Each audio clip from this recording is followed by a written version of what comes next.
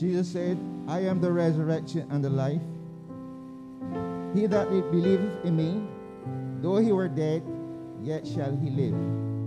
And whosoever liveth and believeth in me shall never die.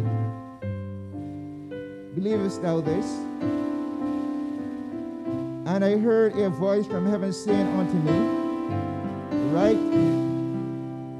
blessed are the dead which die in the Lord from henceforth, yea, saith the Spirit, that they may rest from their labors and their works do follow them. Let not your heart be troubled. You believe in God, believe also in me. In my Father's house are many mansions. If it were not so, I would have told you. I go to prepare a place for you. If I go and prepare a place for you, I will come again and receive you unto myself, that where I am, there you may be also. And whether I go, you know and the way you know.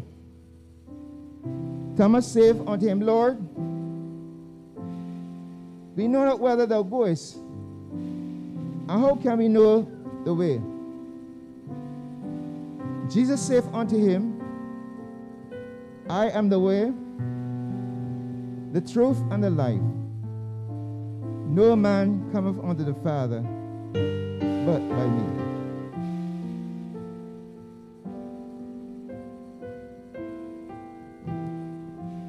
Who shall separate us from the love of Christ? Shall tribulation or distress, or persecution or famine, or nakedness or peril, or sword? As it is written, For thy sake we are killed all the day long. We are counted as sheep for the slaughter. Nay, in all these things, we are more than conquerors through him that loveth us. For I am persuaded that neither death, nor life, nor angels, nor principalities, nor powers, nor things present, nor things to come, nor height, nor depth, nor any creature shall be able to separate us from the love of God, which is in Christ Jesus our Lord. We want to welcome you this evening as we offer thanksgiving for Doriel Aldeane Broomes. And I pray this morning, this afternoon, that God will comfort us as his people as we seek to give him praise, honor, and glory. Let us turn towards him, she, as we sing our first song, Blessed Assurance.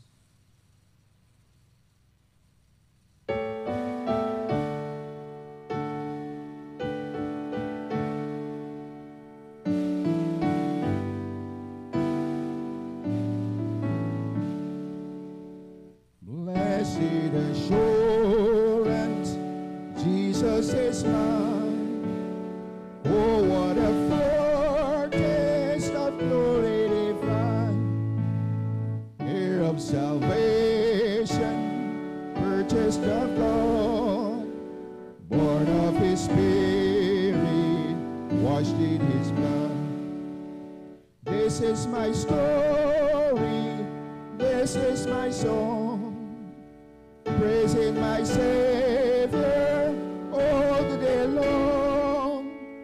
This is my story, this is my song, praising my Savior all the day long. Perfect submission.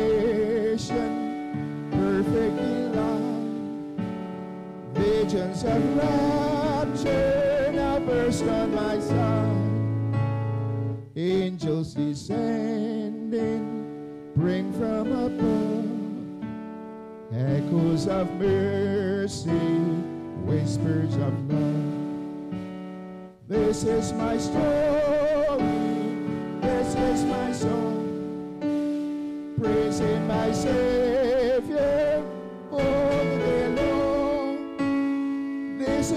Story, this is my song, praising my Savior all the day long. Perfect submission, all is at rest. I in my Savior am happy and blessed, watching and waiting, looking above, filled with His goodness, lost in His love. This is my story, this is my song, praising my Savior all the day long. This is my story, this is my song, praising my Savior all the day Let's bow our heads for and our hearts for prayer. Our Father, we praise you, we thank you this evening. We're glad because we can come into your house to worship. We praise you, Lord, for those of us who are here. We're asking, Father, that your presence will be with us this evening as we give you worship. As we will reflect on the passing of our sister. Oh, Father, we pray that our hearts will be filled with gratitude. We pray, Father, that you will even strengthen the hearts of your children, those who are closely connected to our sister. I pray, Lord, you would comfort them with your presence this afternoon. Let your Holy Spirit, Father, overshadow them. May they feel the peace, Lord, that only you can give. Lord, we pray at the end of this service, Lord, the moments when we would spend in this house, that you would even become more real to all of us who are here. We would become aware of how fleeting life is. That someday we will all have to stand before you. And so that we would prepare our hearts and our lives aright to give you honor and glory. Comfort our brothers and our sisters. Comfort those who are near, those who are relatives, those who knew this lady in any way. And we pray that this service will be a blessing this evening to all of us. These mercies we ask in Jesus' name with thanksgiving. We remain standing for the scripture reading by Michelle Carter.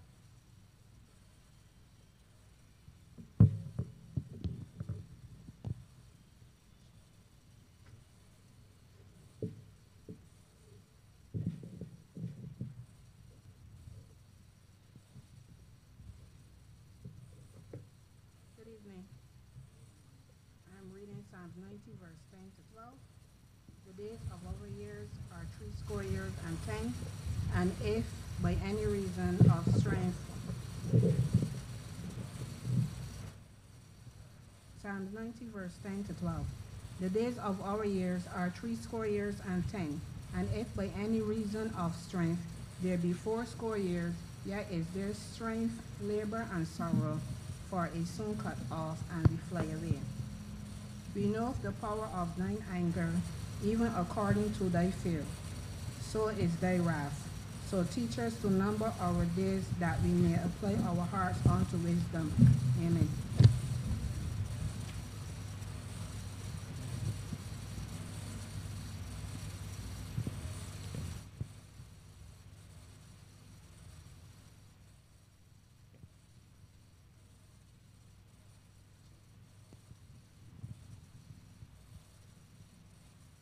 Let me, you may be seated.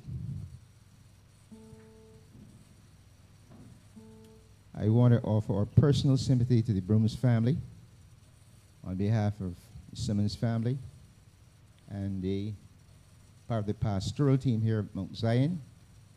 We also want to offer our sympathy to the entire family. We pray that God will strengthen you and keep you as you go through this trying hour. The next song on our hymn book will be, on our hymn sheet will be Beulah Land, and we You'll stand for the singing of that song. The Lord bless you in Jesus' name.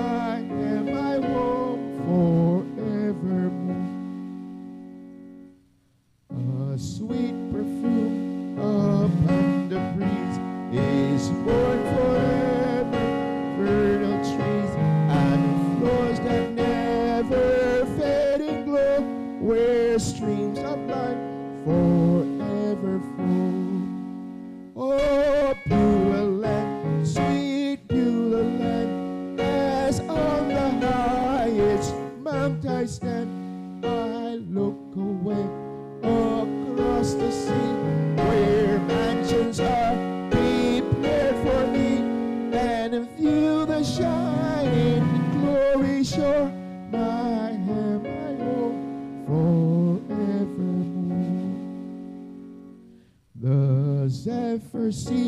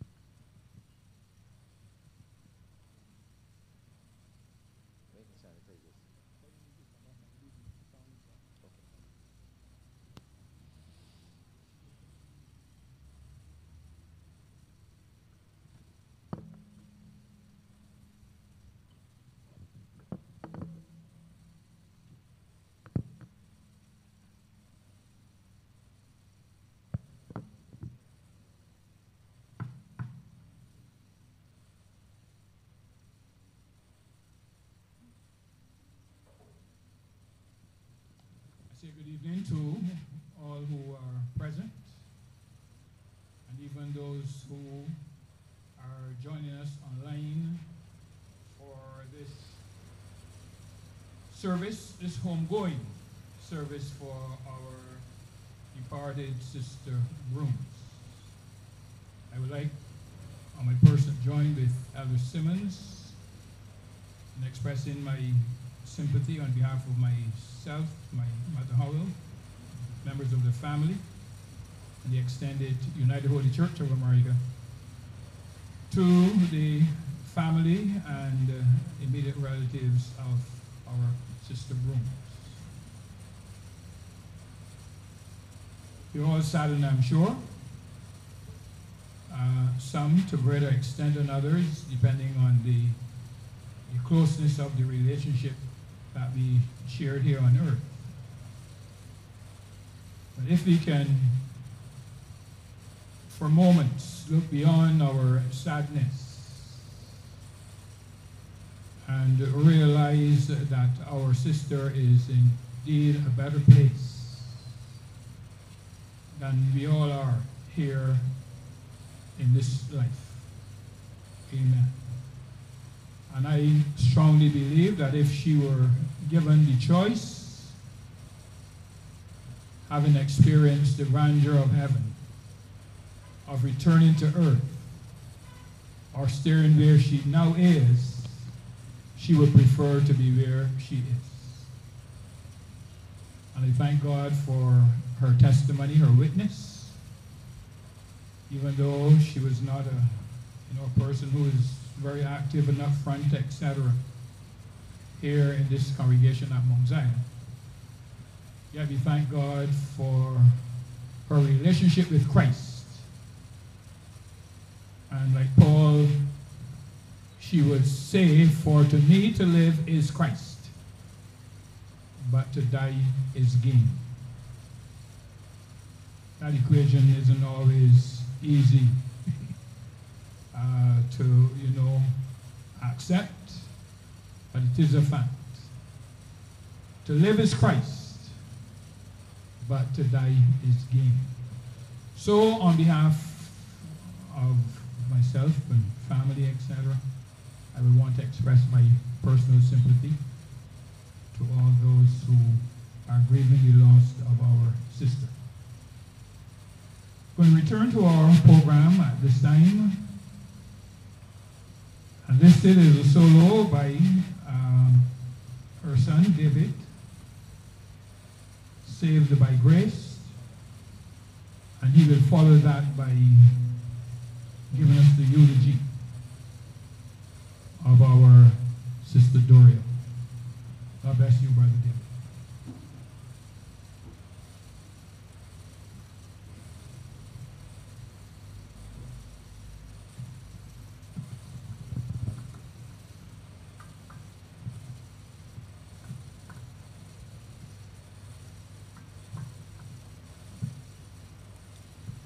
Song, I was at home and um, I had prayed and I wasn't even thinking anything about it when it just burst into my, my thoughts and memories. I believe that God would want me to sing this and may He help me to deliver it. And it's saved by grace.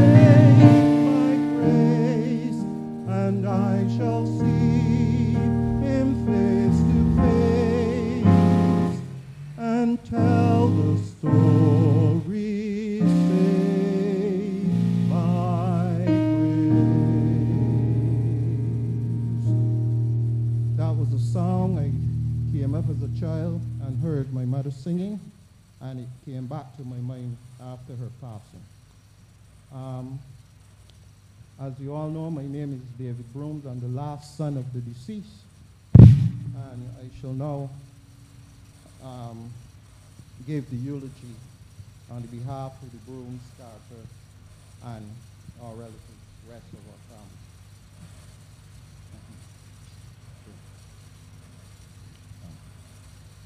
Doriel Aldeane Broomes, near Elcock, was the first of four siblings to be born to the late Olivia Philippa Carter, who is better known as Vonik Carter. Doriel, Werner, Grantley, and Harriet, who is the last and the only surviving of those siblings, were all raised by their mother and great aunt, the late Louise Downs, who we all knew as Gran, at, in All Kings Gap, Eagle Hall, St. Michael.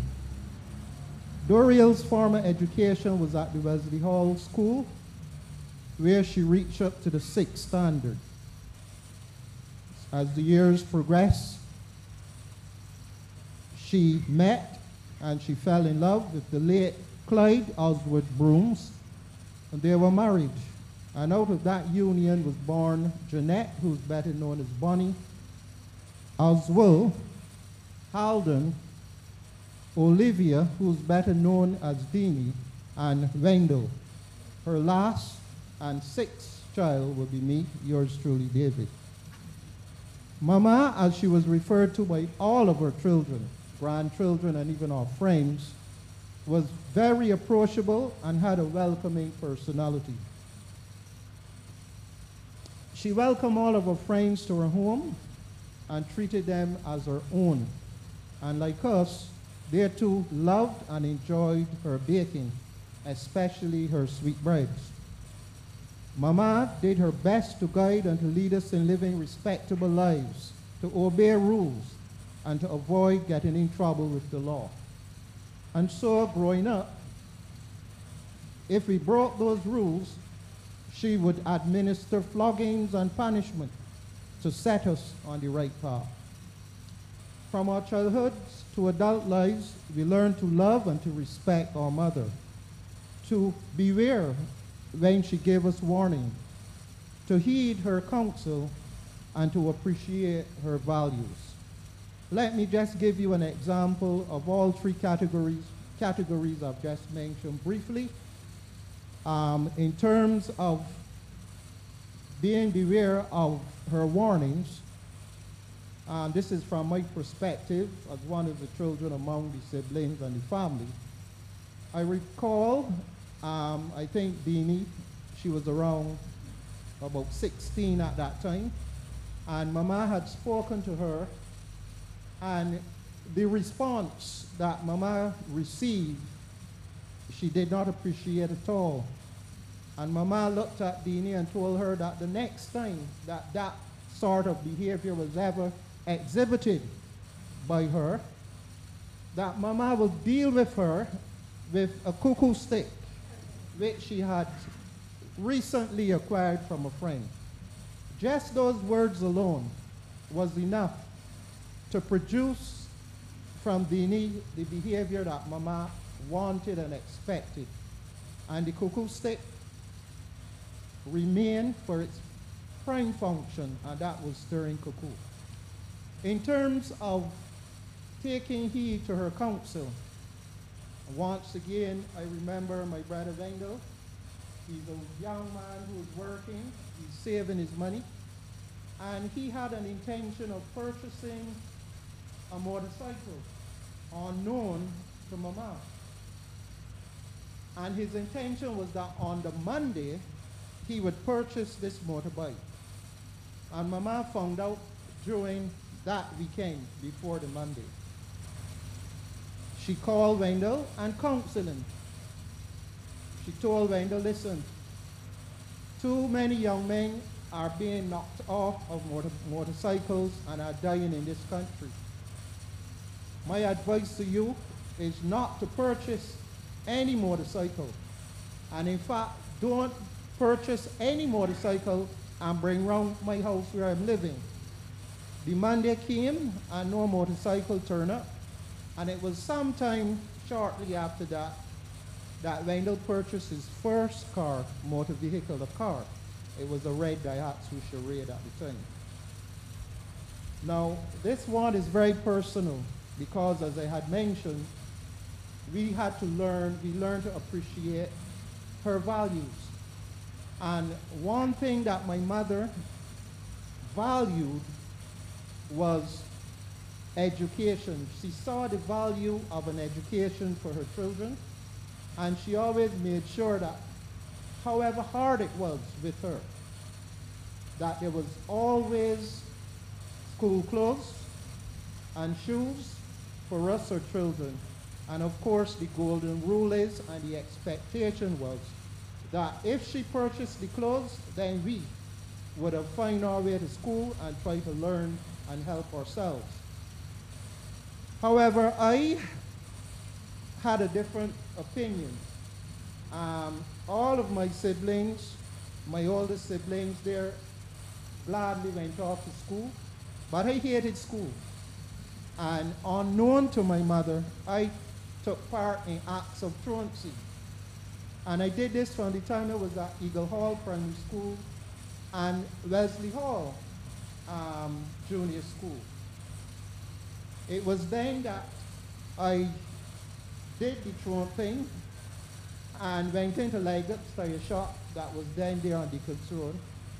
And it was disclosed to my mother I did not go to school at all that day, but was in the tire shop all day.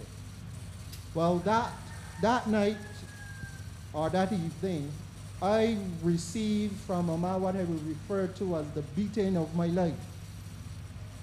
The next day, she took time out. I had to get ready and move with her. Took me to school and told the teachers, find out from the teachers, uh, found out which class I was in, who were those who were my form teachers and so on. And told them that she works at Cooper's, gave them the number and said, if ever I miss school again, and don't present a letter, call her and let her know. That was her way of ensuring a safety check to make sure that I wouldn't be up to the, the Trump, the, the school, the truancy again. But to me, it wasn't necessary because there was something profound about that beating that I received. And after that beating, somehow it seems that the, the, the desire to play truant was completely gone from me. I started to attend school, and ironically, I am still, due to the nature of my job, very much attending, um, attending school. And a lot had to do with that beating that I received from my mother. That was the catalyst that propelled me and enabled me and facilitated me being where I am today. So I give God thanks for that and for the foresight and for the no-nonsense attitude because I trampled on her values and I paid the price dearly. After Mama retired from work, she became a diabetic. It was diagnosed later that she was diabetic. And some years after that, um, we, her children and close relatives, got what we refer to as the scare of our life, of our lives when she was hospitalized like for three weeks or two weeks straight with very high, high pressure that didn't seem to want to recede or come down. And it was told that she had a mild stroke. Thanks to God's help and care that she received, she returned home and recovered well and was back to herself after some time. And it was shortly after that that she recommitted her life to God and started to attend this church, the Mount Zion Holy Church of America here in Wavell Avenue, Black Rock. Um, she stopped attending, but that was due to her issues with her health and her memory. Her short-term memory was affected and she couldn't remember something that she would ask you now. Um, she would ask you like five minutes after because her short-term memory wasn't registering anymore. Thankfully, her long-term memory was very much intact. And during the years of her retirement, we were able, we her children was able to learn from her things from her childhood she would have told us about her days as a child giving recitations at church during the harvest time, and also the recital she would have given in her school um, for a teacher who was departing. And she even remembered the name, Keep Sweet. And she would have repeat that for all of us in the house to hear. So despite her memory failing, her long-term memory start producing goodies for us because she was also able to tell us about poems and things she enjoyed from her childhood. She loved literature. And she would have explained poems to, to us that she would have learned in the library um, during her childhood days and probably shortly after. Um, among them would have been the Inchcape Rock and False Sir John, which also has another name, the Outlandish Knight. She would also sing songs, and when we checked the internet, we realized those would have been songs that she would have learned during her lifetime and her younger days.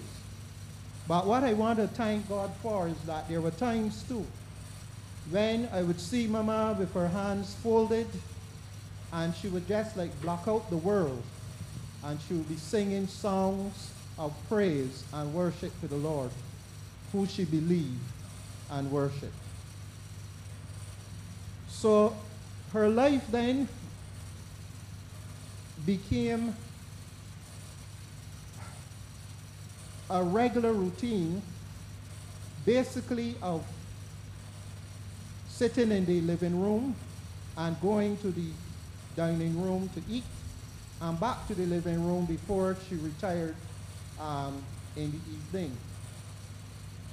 And um,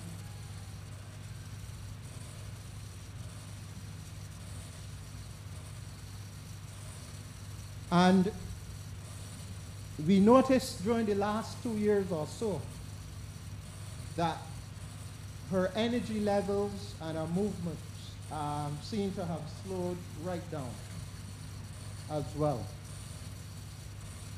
It was on the 15th of December in the year 2021 that her time with us here on earth expired and she passed away peacefully, being held in the arms by Wendell, who was weeping at the time.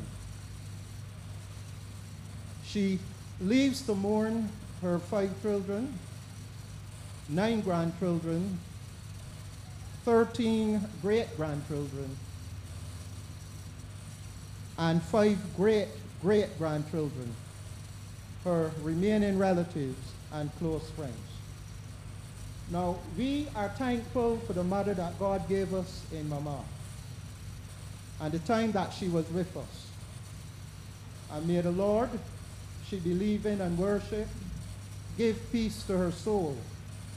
May her name be written in the Lamb's book of life. And may she attain the resurrection of the just and be granted eternal life and peace with God through Jesus Christ our Lord. Let it be so, Lord. Amen.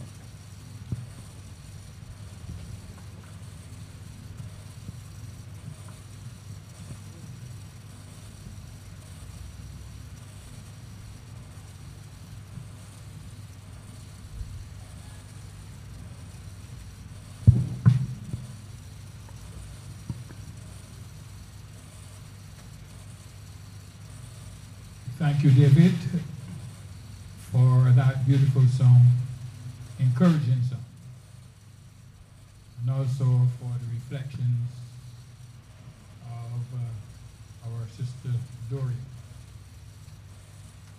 Amen. One thing we can leave behind us is memories and, uh, and work when those fall in line with the will of God, amen, we can ask for nothing more. We want to thank God for the example which our sister uh, set. Thank God for the assurance which she had in her heart that she was Christ and uh, Christ alone. This time it's my pleasure to introduce you give the sermon for this evening, the senior pastor here at Mount Zion, or Elder Franklin Smith. And we pray that we would all listen to the word, word of God. Bearing in mind that someday we are going to pass this way. And the scripture tells us quite plainly that is an appointment that each and every one of us have. Pointed on the man wants to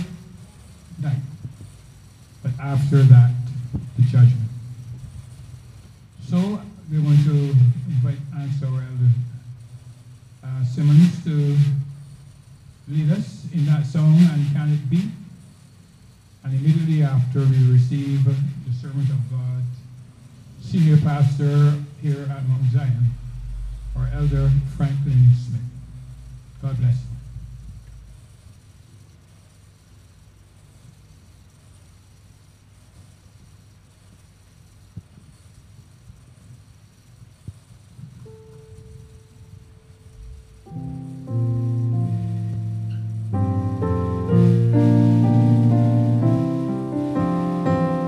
Stand.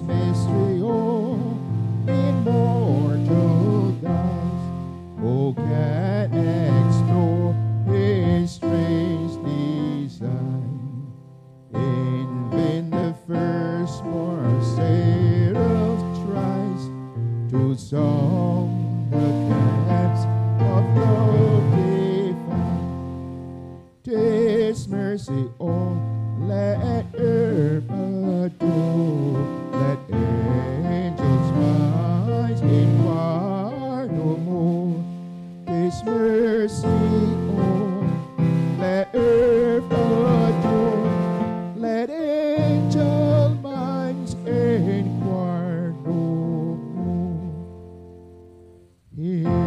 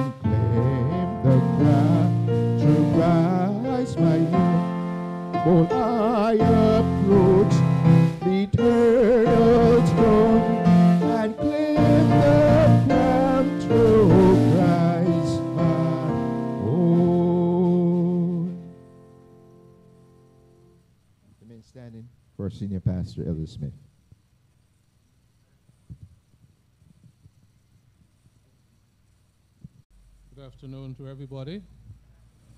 You may take your seats.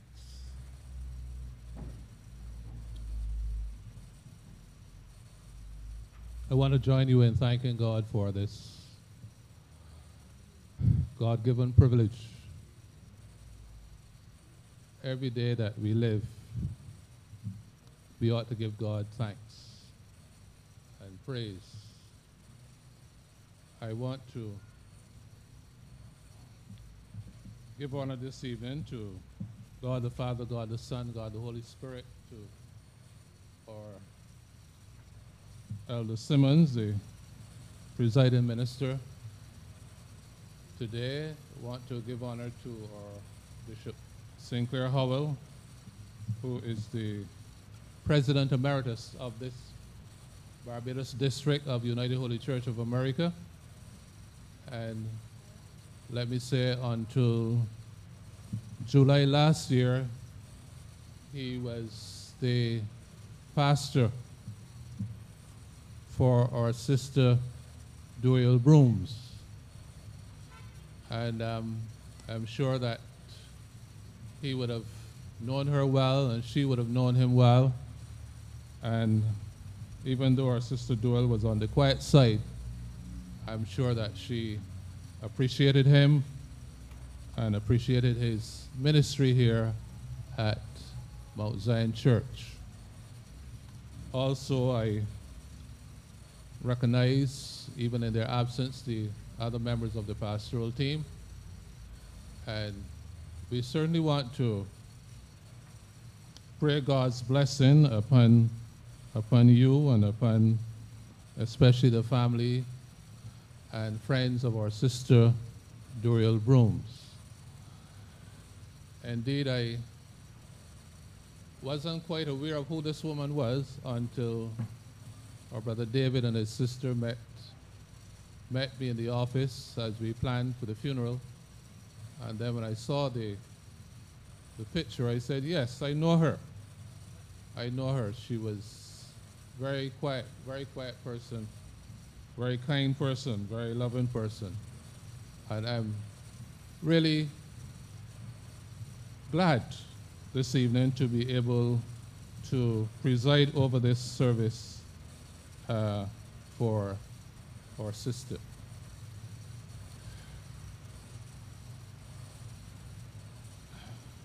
Funerals are not what they used to be before,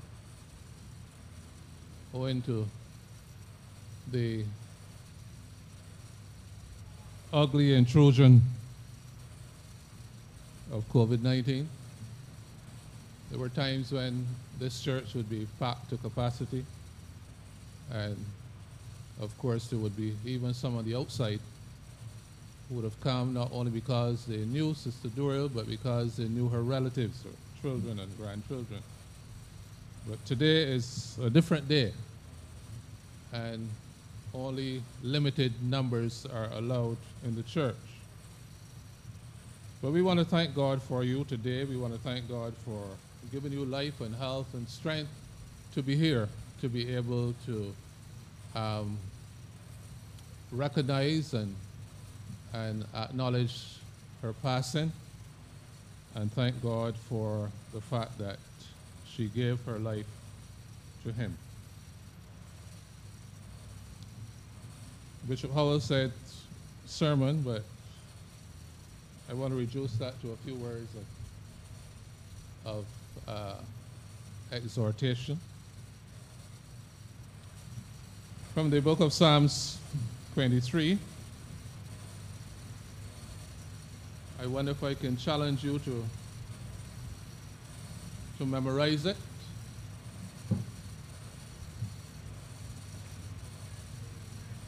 Let's go on. Let's try. The Lord is my shepherd. He maketh me to. He leadeth me beside. He restoreth my soul.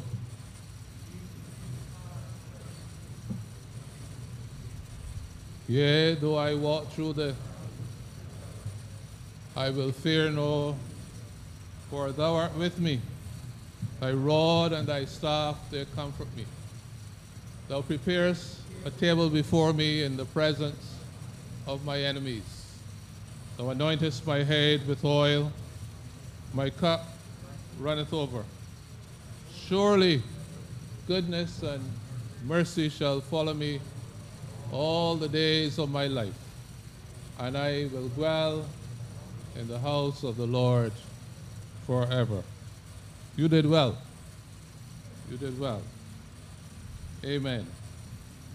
And I guess some of you would have remembered this Psalms if you're not a regular Bible reader. You would have remembered this from school days.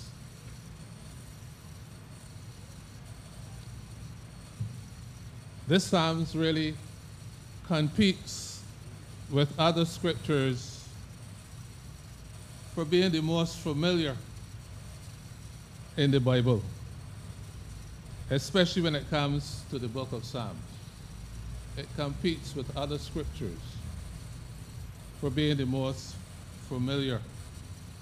It's a psalm that we would have, as I said before, learned at home. We would have learned the psalm at school.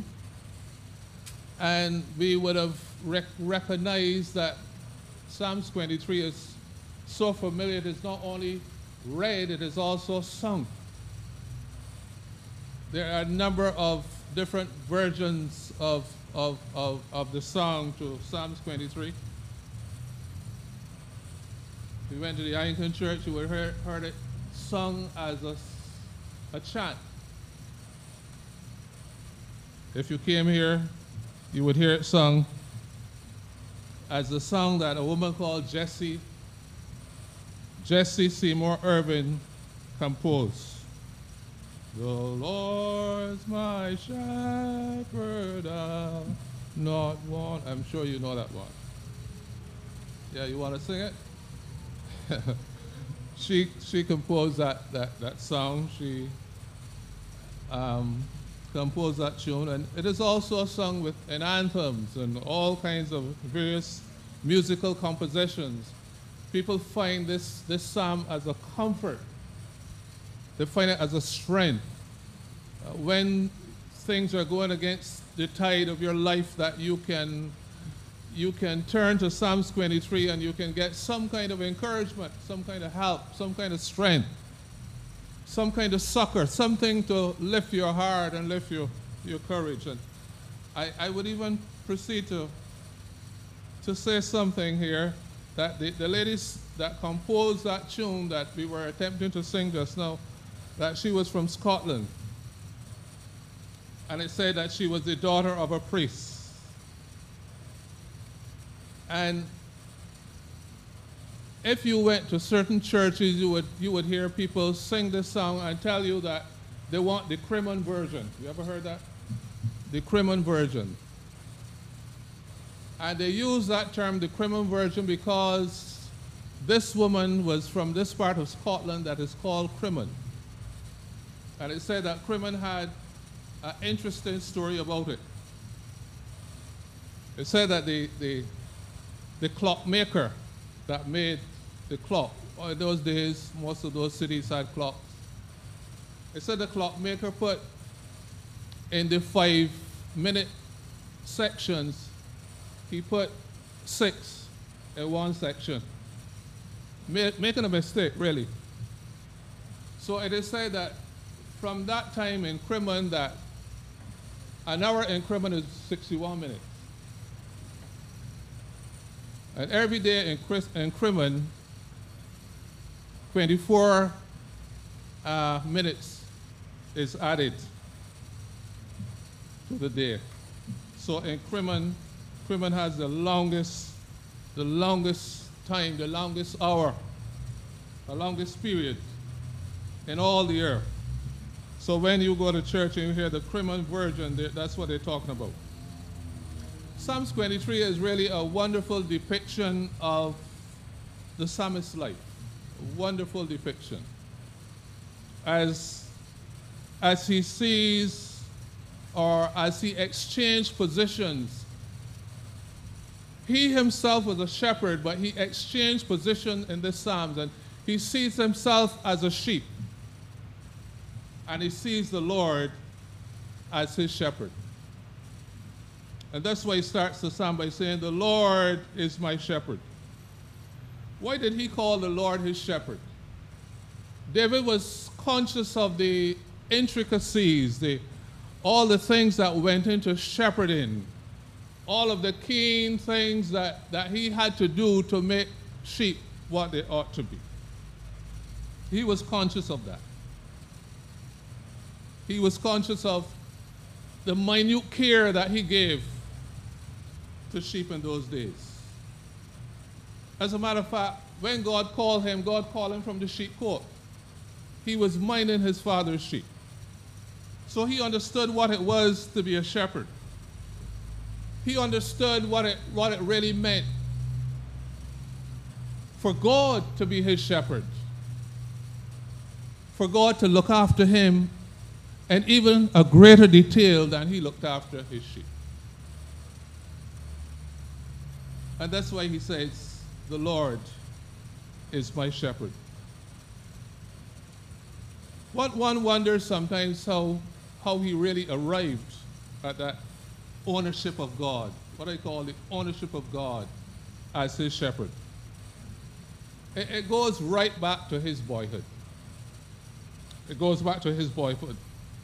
It goes back to his, his life as a young man.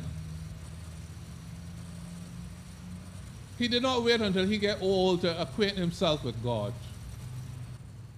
He was acquainted with God even from a young man. And he nourished himself and developed himself into loving God and serving God until now he can own God as his own. One would remember when he was faced with the challenge of fighting Goliath. When all of Israel ran, all of Israel, um, you know, they, they did not take up the challenge, but David took up the challenge. And he asked himself, if an uncircumcised Philistine is going to defy the armies of Israel. And he went forth and he fought them. He fought Goliath. And he won the battle. Not, not only this, but there were so many situations in, in David's life that really, really made him acquaint himself with God and, and made him turn to God for help. So many situations in his life. If you know how many times that he escaped death, if you know how many times that his life was at stake, if you know how many times that he felt that there was just a step between himself and death, but he realized that in all of his trials and all of his tribulations that there was somebody called God that he could turn to for help. He could turn to God for help. And he, in the second verse of this, of this psalm, is really the psalm that I really wanted to talk about which, in which the psalmist says, he, he, he maketh me to, to lie down in green pastures. Now, this don't have anything to do with the graveyard. He maketh me to lie down in green pastures. And I took some time to try to understand what the writer is saying.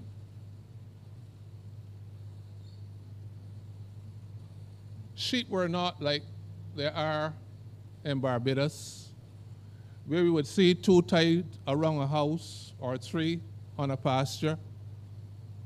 Sheep were plentiful in their thousands, and David was responsible for them. He was responsible for them. And when the psalmist says that God led him in green pastures, it meant that he was not, he was not tied like we see sheep, sheep tied in Barbados.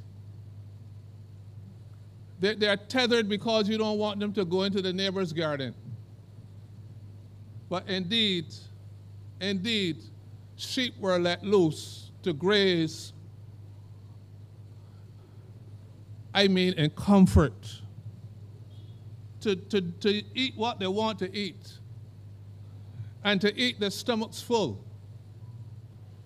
And we realize by knowledge that sheep do not lie down unless they're satisfied. Anytime you see a sheep not satisfied, he's going to be standing on his feet. And I re- remember some, a good while ago, that two drivers, two minibus drivers, were driving, going in opposite directions, and when they got to each other's window, one was taunting the other one that he was making all the money. One fellow said, he retorted to his friend, he says, I am in good grazing, but I'm tied short. I don't know what you understand by that. But sheep in those days were never tied, and they were able to eat to their pleasure. So the psalmist says, He maketh me to lie down in green pastures. He gave me all that I ever needed. He satisfies me. Not only satisfies me, but there's a word called to satiate means to be more than satisfies. He's saying that God satisfies him. He led him in green pastures. He put him in great good grazing. And now he can look back on his life and he can, he can thank God for the things that God has brought him through. I want to say that our sister Doriel Aldeane Broomes would have seen the Lord's hand on her life during the course of her sojourn here on this earth. As a matter of fact, anybody that is her age would have come to realize that had it not been for the Lord on their side, they could not have made it the way they made it. You know that our parents and our grandparents made it on nothing? You know we had they had very little. You understand what I'm talking about? They had very little. And yet they were able to school their children. They were able to clothe their children. They were able to feed their children. But she recognized, she is one of those that recognized that without the help of God, that she could not make it. Yes, she saw the hand of God in all that she did. As a matter of fact, whenever you interview seniors,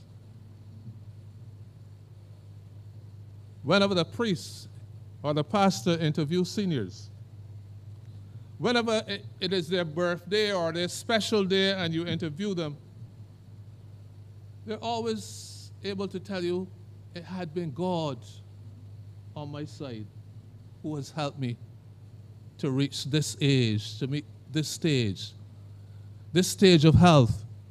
It had to be God.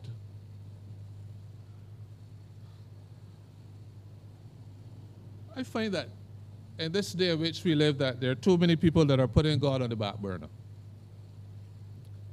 Too many people have little or no recognition for God. And they're not conscious of the fact that it is He who wakes us up every morning and set us on our way. It is He who has made the foundation of our lives secure.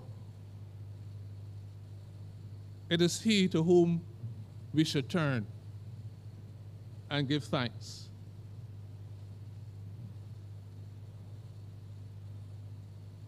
As a matter of fact, in the book of Matthew, chapter 7, verse 24, Jesus himself said, If any man hear my words and doeth them, I would liken him to a wise man that built his house on the rock. And when the winds blew and the waves came and hurricanes and whatever you know came, it stood because it was founded on a rock. Our lives are just like a building. Our lives is like a building. And if you had to build a building, you will make sure that you have a good sound foundation to build on. Our lives are just like that. We must have a good foundation to build our lives on. And the man that has a good foundation will not commit suicide a man that has a good foundation will not try to solve his problems by the gun or by the sword. Because underneath you are the everlasting arms. I knew that some of you, especially Christians, would say, if I knew then what I know now, I would not have had so many pitfalls in my life. So many pitfalls. So many, so many things I would have changed, so many di- different directions I would have gone in. If I knew then what I know now.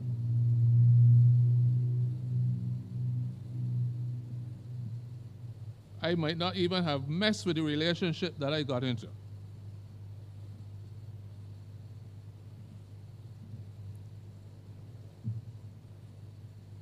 I might have passed that lady on the other side. If I knew then what I know now. But with all our dreaded past, Jesus is still able to reach out to us and turn our lives around with all our dreaded past. We never come to a situation with God that He cannot help us and He cannot bring us into betterment. He cannot bring us into a better place. Yes, we never reach that stage. Jesus is always saying, Come unto me, all ye that labor and are heavy laden, and I will give you rest.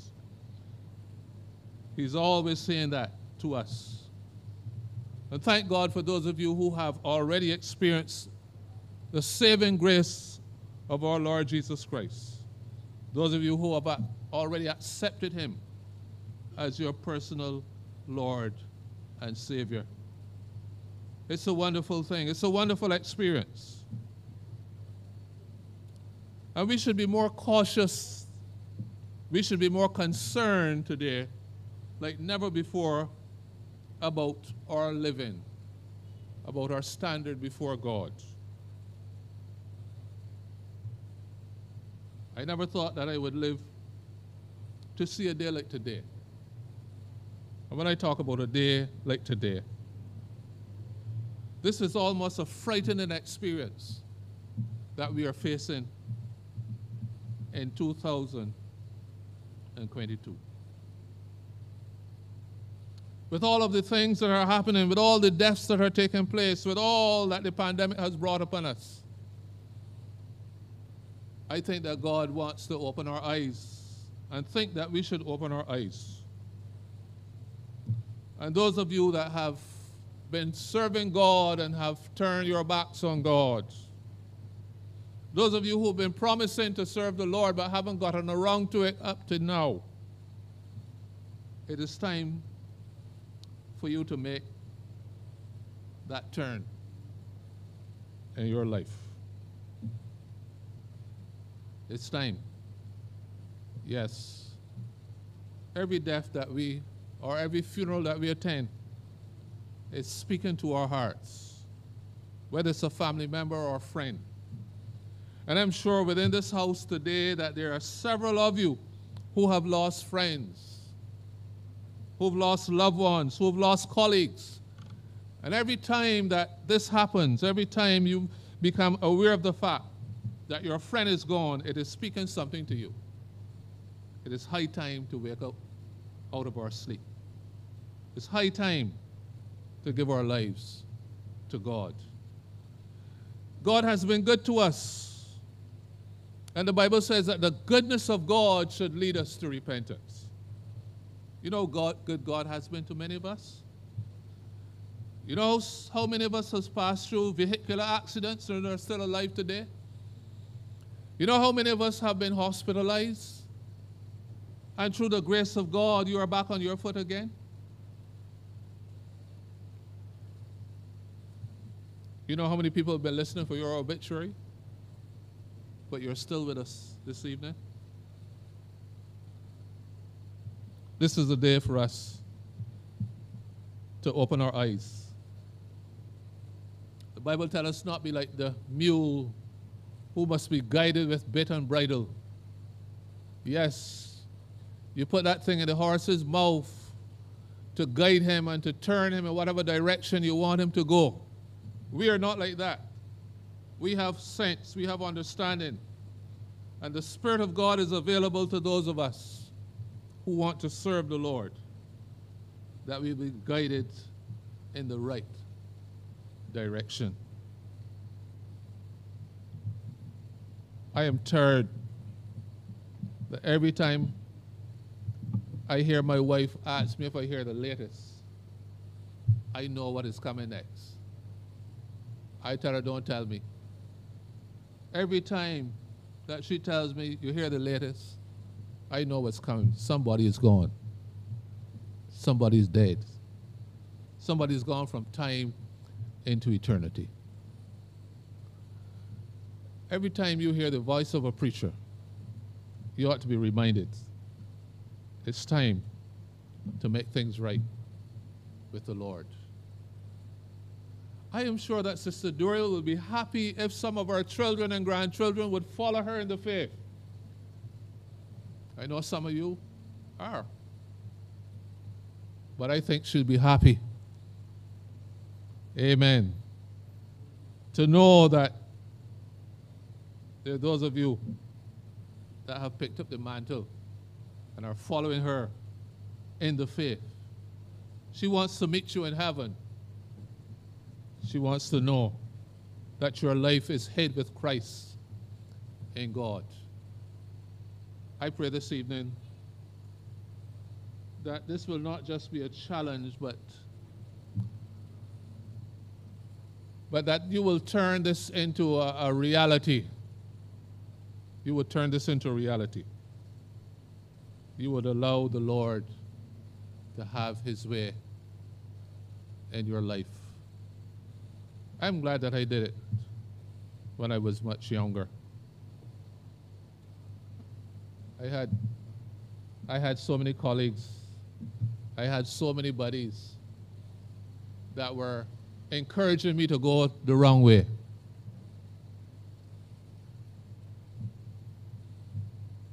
First time I went to America, I had some buddies that, and I went on a church mission. I had some guys that wanted to take me for a spin, and they had fast cars. And I had not long gotten married. My wife was back here in Barbados. I tell them I'm waiting for a call from my wife. Nobody taking away this life from me. I, I, I, mean, it wasn't a lie. I was really waiting for a call, but I could have said otherwise. But you got sense for yourself. I mean, don't let nobody push you in the wrong direction. And I had some guys that were introducing me to the wildlife. One fellow now is blind as a bat. Instead of looking after himself, he looked after the girls. And now he can't see the girls.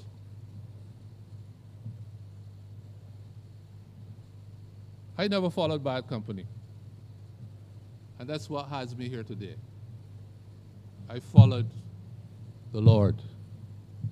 And I encourage you to do likewise. Follow the Lord. And I believe that God is speaking to some heart today. God is speaking to some man or some woman. Somebody who's been procrastinating. You know, it says that procrastination is what? A thief of time. steals your time. steals your time. And you are always putting back till tomorrow and putting back till tomorrow and putting back till tomorrow. It is high time saints of God, to awake out of our sleep, for now is our salvation nearer than when we first believe. May God bless us and help us that we will take serious thought today. Not until we leave this house, but even after we have left this house, And after we have left the cemetery, that we would make a concerted effort to serve the Lord. God bless you. Let's all stand.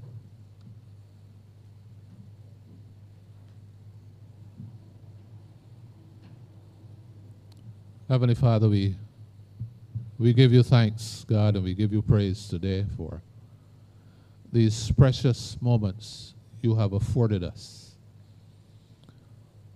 Oh God, you have allowed us another day to continue where we left off yesterday.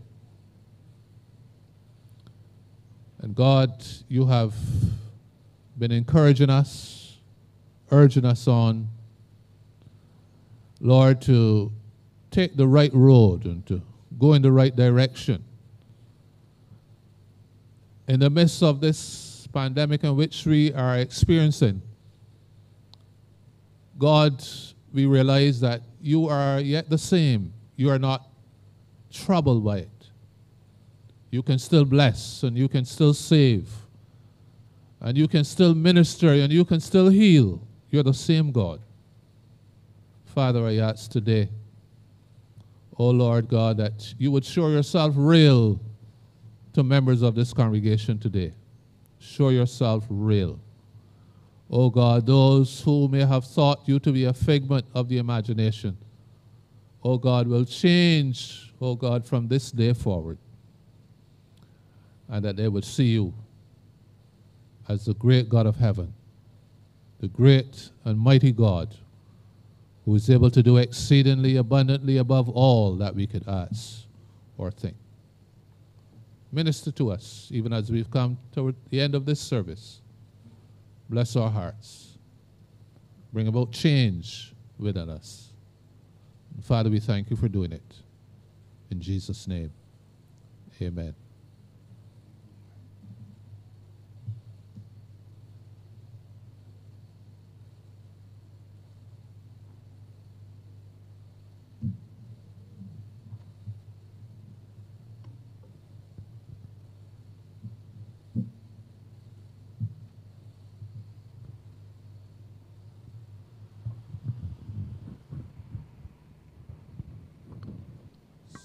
We're going to turn to our hymn sheets. We'll sing the last song of this, this side before we go and lay our sister rest. Some glad morning when this life is over, I'll fly away. Lord bless us as we sing that song. We're glad because we have a place where we can all meet again around the throne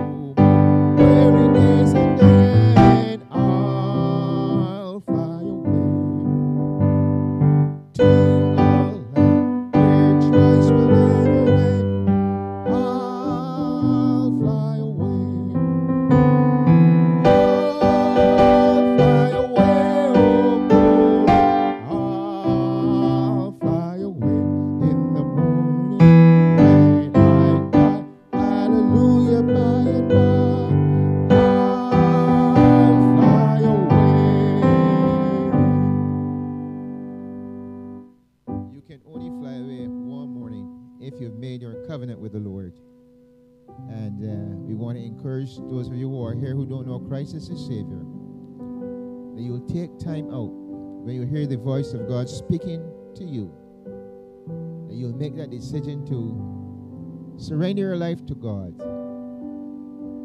Accept what He has done for you on Calvary. And if you do that, you have the assurance that if you'd pass when you're called from this life, that you would make your calling and election sure. God bless you. May you bow our heads for prayer. Our Father, we thank you for bringing us together this evening to worship you. We thank you again for the life and witness of our sister Doriel. We thank you, Lord, because she has been able to raise good children, godly children, those that fear you. We're glad for the influence of her life. And I pray that as we would leave, Lord, to lay her body to rest, I pray that as we would have reflections, that those who are her siblings would have a desire to follow, and those who are children, Father, would have a desire to serve you, that they'll be a meeting somewhere, somewhere in the sky when time shall be no more. Again, Lord, we thank you for your blessings with us. Be with us, Lord, as we will journey, Lord, to lay her to rest. This we pray in Jesus' name. God bless you. Heaven smile you as we recess in Jesus' name. Some glad morning when this life is over,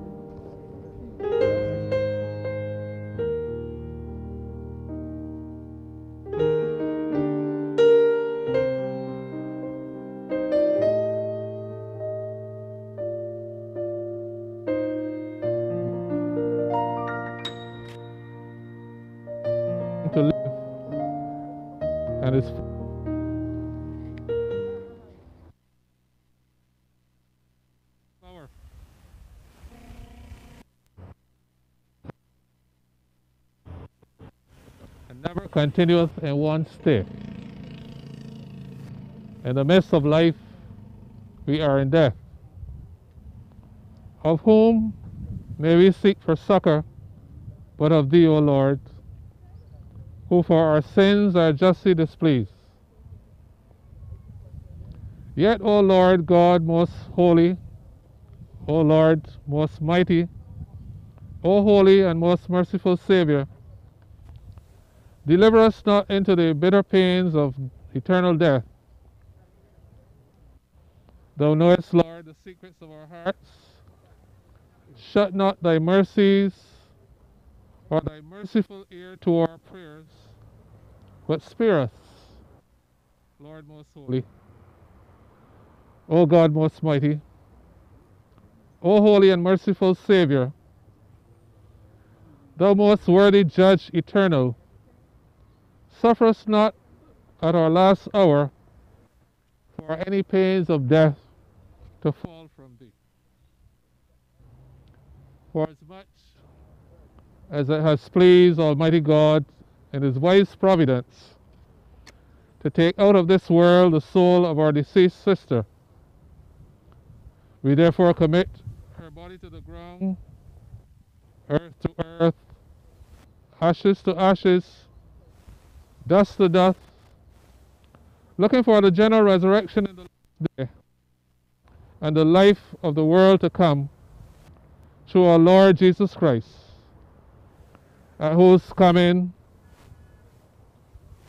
in glorious majesty to judge the world, the earth and the sea shall give up their dead, and the sleep in him shall be changed and made like unto his glorious body, according to the mighty working whereby he is able to subdue all things unto himself. I heard a voice from heaven saying unto me, Write. from henceforth, blessed are the dead who die in the Lord. Even so saith the Spirit, for they rest from their labors.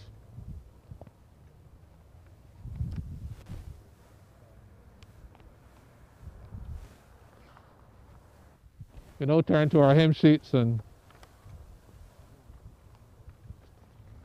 sing the first song for burial. When peace like a river attendeth my way, when sorrows like sea billows roll. Whatever my lot thou hast taught me to say, it is well, it is well with my soul. We would encourage you to join in the singing. Don't want the minister to sing alone. When peace like a river attendeth my way, when sorrows like sea billows roll, whatever my Lord thou hast taught me to say, it is well, it is well with my soul. It is well with my soul. It is well, it is well with my soul. Though Satan should buffet, though trials should come, let this blessed assurance control that Christ hath regarded my helpless estate and has shed his own blood for my soul. it is well with my soul. It is well, it is well with my soul. My sin, oh, the bliss of this glorious song. My sin not in part, but the whole is nailed to the cross, and I bear it no more. Praise the Lord, praise the Lord,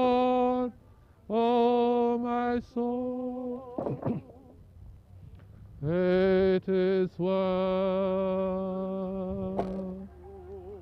with my soul. It is well, it is well with my soul. And Lord, it's the day soul The clouds be rolled back as a scroll. The trump shall resound, and the Lord shall descend.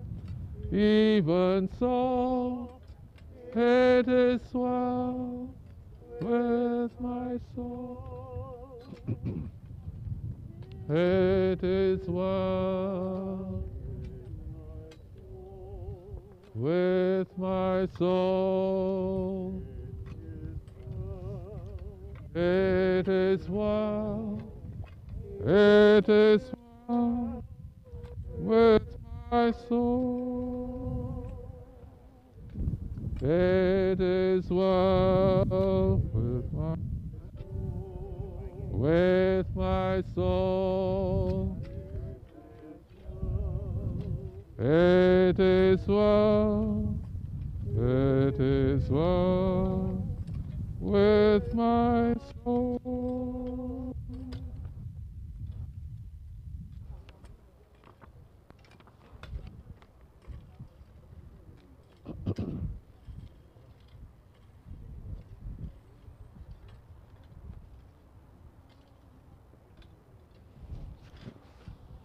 There's a land that is fairer than day.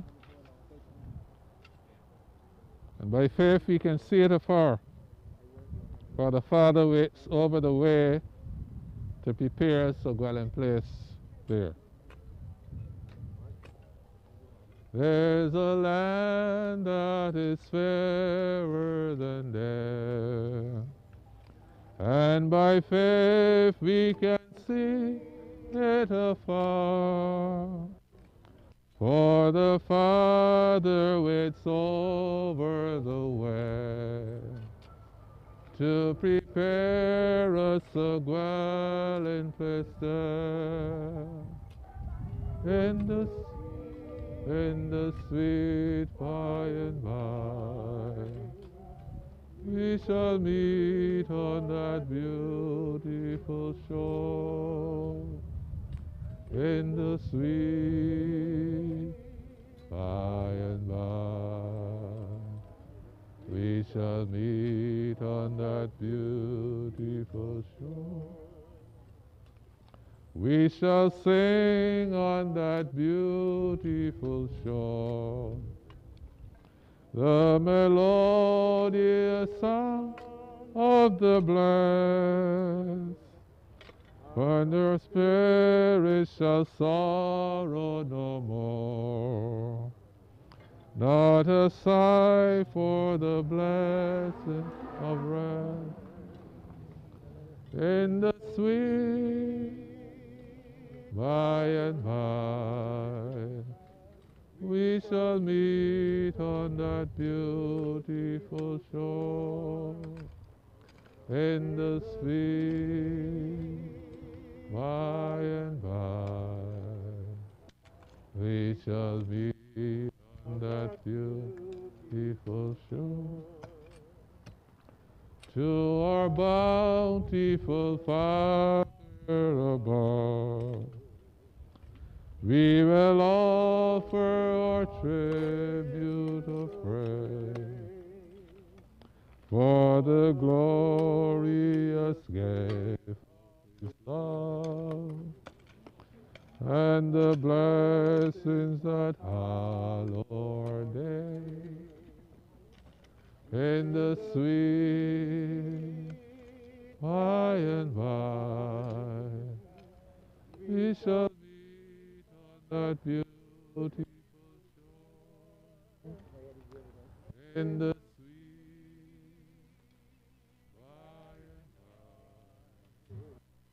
we shall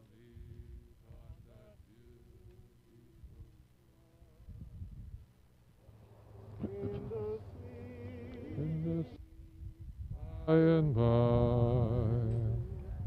we shall meet on that beautiful shore. In the sweet by and by we shall meet on that beautiful shore. To our bountiful Father above, we will offer our tribute of praise for the glorious gift of His love and the blessings that hallow our day. In the sweet by and by we shall meet on that beautiful shore. In the sweet by and by we shall meet beautiful shore when the roll is when the trumpet of the Lord shall sound and time shall be no more. And the morning breaks eternal bright and fair when the saved of earth shall gather over on the other shore the roll is called up yonder. I'll be there when the trumpet of the Lord shall sound and time shall be no more and the morning breaks eternal, bright and fair. When the saved of earth shall gather over on the other shore, and the roll is called up yonder, I'll be there. When the roll is called up yonder, when the roll is called up yonder when the roll is called up yonder, when the roll is called up yonder, I'll be there.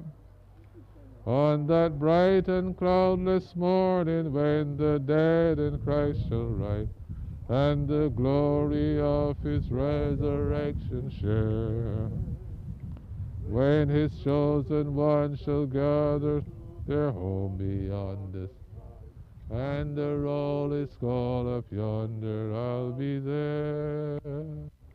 When the roll is called up yonder, when the roll is called up yonder, when the roll is called yonder, when the roll is called yonder, I'll be there.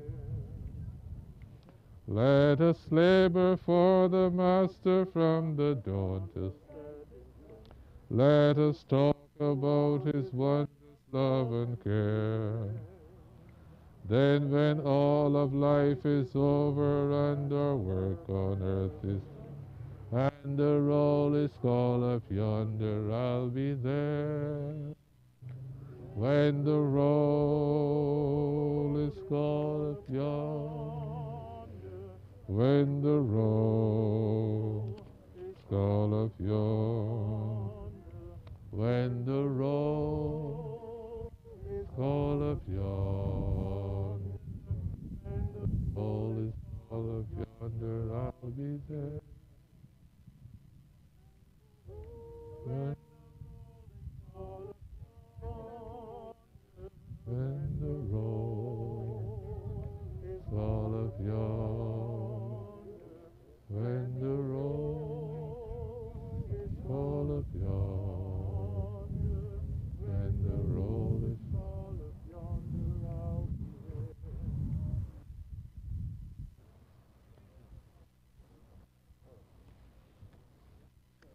sing our final song. When we all get to heaven. Sing the wondrous love of Jesus.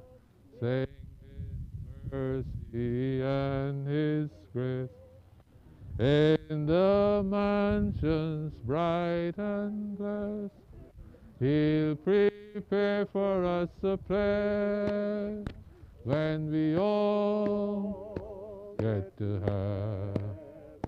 What a day of rejoicing that will be when we all see Jesus. We will sing and shout for victory while we walk the pilgrim path.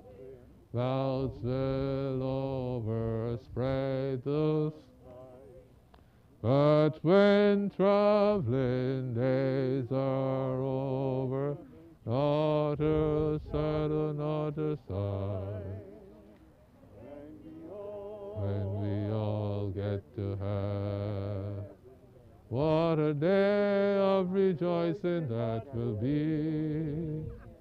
That we all see Jesus. We will sing and shout for victory. Let us then be true and trust in serving every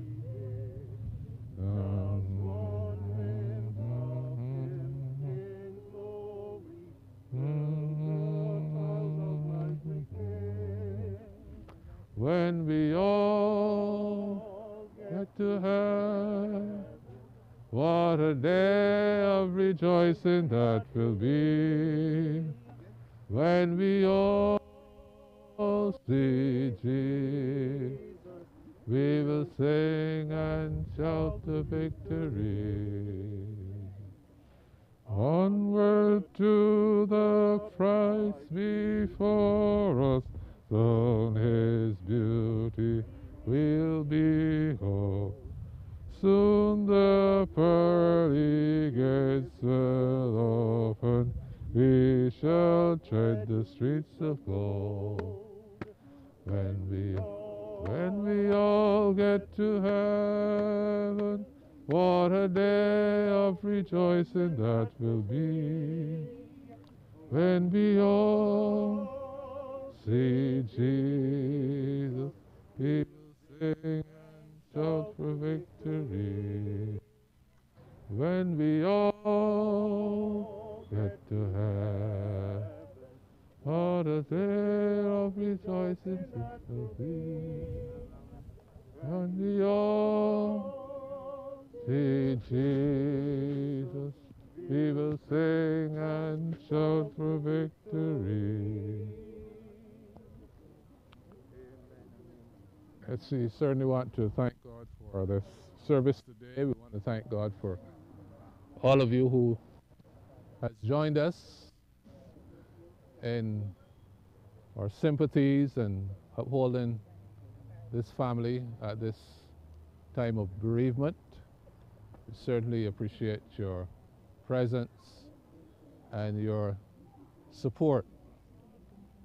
We want to thank God for the professional services of the Belmont Funeral Home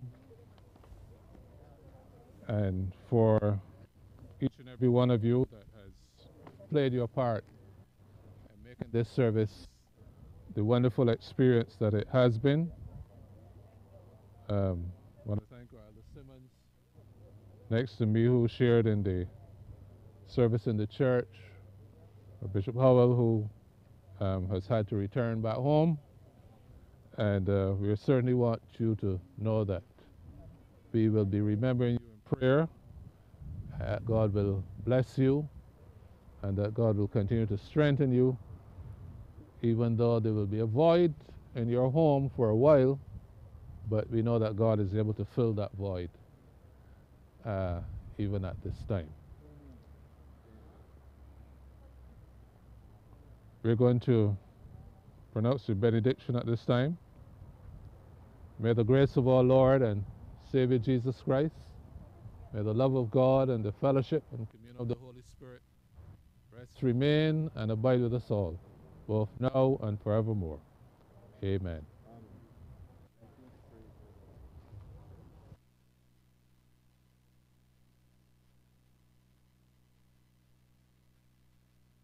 Though I'm missing you,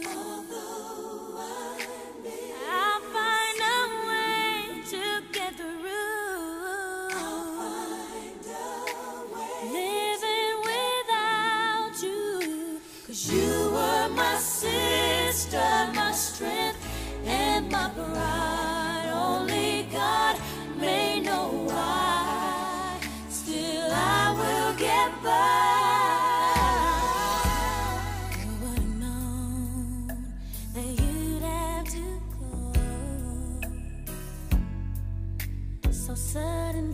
so fast? How could it be that our sweet memories would be all that all that we have left? Now that you're gone, every day I go on, but life's just not